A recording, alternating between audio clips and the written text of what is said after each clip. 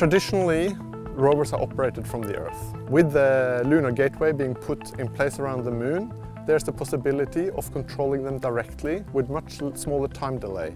Uh, and this opens up for uh, new possibilities for things that you simply cannot do or is much more difficult to do from the Earth.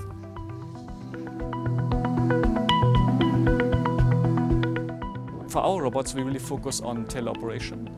But we go a step further. We use haptic controllers to move our robots, especially move robotics, uh, robotic arms. So if you move our haptic device and the robot touches an obstacle, you indeed feel, feel the touch.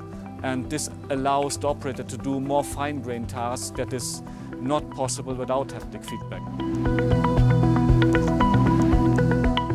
Astronaut time is extremely valuable, so you can send a rover to the surface, you can let the ground team do all their planning, uh, let the, them do all the longer traverses, and you get the astronaut involved when it's necessary for maybe the more complex task or the things where he really uh, direct teleoperation, direct control of the robot is more helpful. This is one of the first times we put out the robot in, in a really harsh environment here on Mount Etna.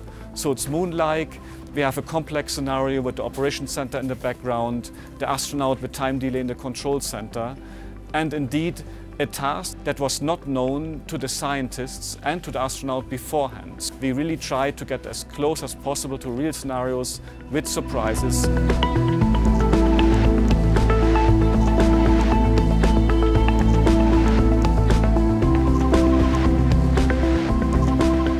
It's certainly less dangerous to send a rover to the surface than to send an astronaut. Uh, it's also cheaper. Um, it's also uh, possible to not take up so much of their time.